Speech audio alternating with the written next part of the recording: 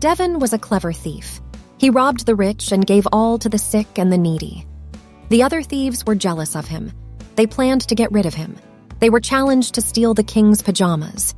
Deven accepted the challenge. After that, he prepared to execute the new challenge. He charted out a plan to steal the king. He prepared himself mentally to carry out a plan.